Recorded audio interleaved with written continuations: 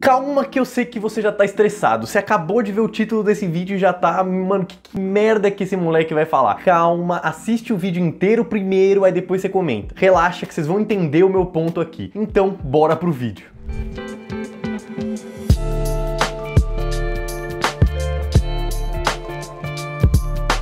Fala gente, tudo tranquilo? Sejam bem-vindos a mais esse vídeo aqui. E bom, antes de começar o vídeo, eu já quero pedir só para vocês deixarem seu like, se inscreverem no canal, ativar o sininho para não perder nenhuma notificação e também me seguir em todas as redes sociais, principalmente no Instagram, porque eu tô postando bastante coisa lá. Todo dia tá saindo complemento pro vídeo, informações novas, coisas adicionais, posts bem legais. Então me segue no Instagram, arroba moleque da bolsa. Tá tudo na descrição aqui, vocês podem clicar e me seguir em todas as redes sociais. Mas bom, no vídeo de hoje eu vou falar justamente aí sobre dividendos, mas eu vou falar justamente aí sobre os maiores erros erros que as pessoas cometem ao analisar os dividendos de uma empresa e também os maiores erros que as empresas cometem ao distribuir os, os dividendos para os acionistas. Porque sim, existem muitos erros e dividendo alto pode ser sim muito ruim. Não é todo dividendo alto que é ruim, mas existe uma série de empresas que distribuem dividendo e são dividendos altíssimos que cometem esses erros propositalmente ou não, mas o fato é que cometem e você tem que perceber isso antes de investir nessas empresas. Bom, primeira coisa que eu preciso falar para vocês aqui é são dois conceitos importantes que eu vou usar aqui no vídeo praticamente inteiro, então é bem importante vocês entenderem. O primeiro conceito é o conceito de dividend yield. O dividend yield nada mais é ali do que você pegar os dividendos por ação dos últimos 12 meses meses de uma empresa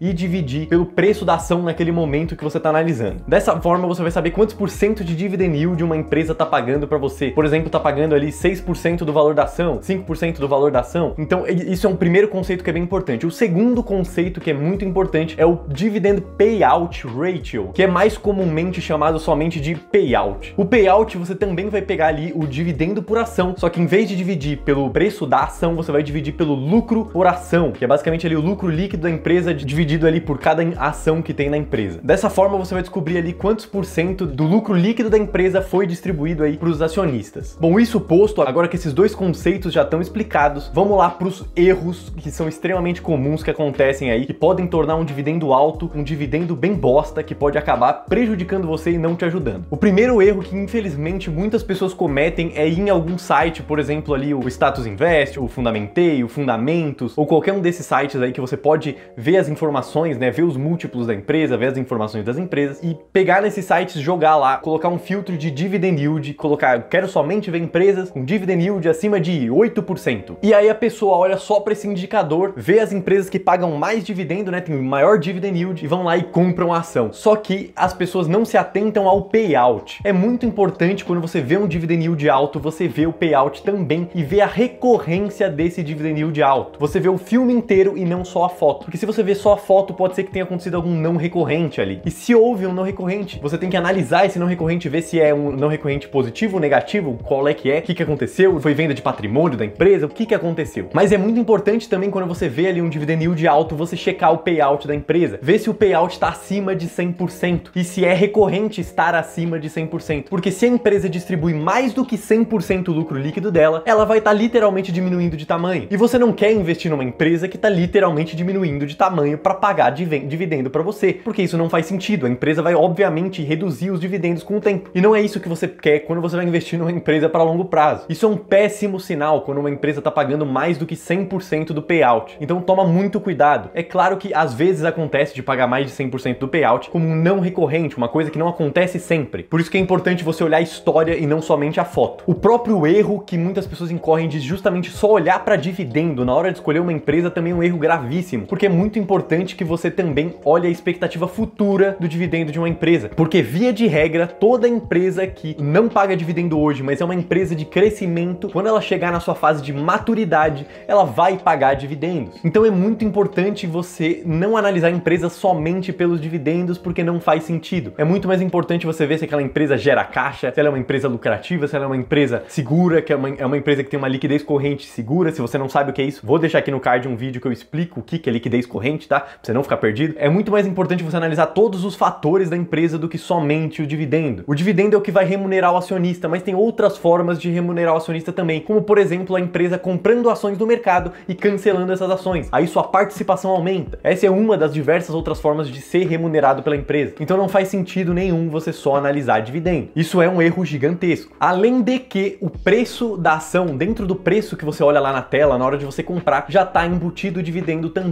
Porque o dividendo, querendo ou não, sai do caixa da empresa. E se é uma, uma grana que sai da empresa, já é uma grana que está descontada no preço ali na tela. Então quando você vê a cotação histórica de uma empresa, ali no seu home broker, já está descontado, já está embutido o dividendo que foi pago pela empresa. Você tem que lembrar também quando você investe numa empresa que é uma empresa pagadora de dividendo, essa empresa que está pagando bastante dividendo, ela está deixando de reinvestir nela mesma. E ela deixar de reinvestir nela mesma, dependendo de qual é o momento da empresa, é claro, o momento é muito importante. Talvez não faça sentido para aquela empresa que você está analisando. Pode ser que ela seja uma empresa muito pequena para ficar distribuindo dividendo, que na verdade o ideal seria ela ter uma posição mais agressiva naquele momento para distribuir depois. Sempre que uma empresa está te pagando dividendo, ela deixa de reinvestir nela. Então tem que tomar muito cuidado com esse tipo de coisa também. É claro que já tem empresas que são mega gigantescas, já são mega consolidadas, que a melhor coisa que ela tem para fazer é justamente distribuir o dividendo para você. Mas tem empresas que não são o caso. Algumas empresas que esse é o caso seria, por exemplo, o Itaú, a Ambev, que são empresas consolidadíssimas, extremamente fortes, que já não tem mais para onde crescer, já não tem muito mais para onde crescer e pode ser que o, o reinvestimento nela mesma não seja tão efetivo assim. Então aí sim faz sentido ela distribuir uma porcentagem maior dos dividendos. Então dividendo alto, às vezes sim pode ser uma merda, pode ser uma bosta sim, mas não é todos os casos, obviamente não é todos os casos.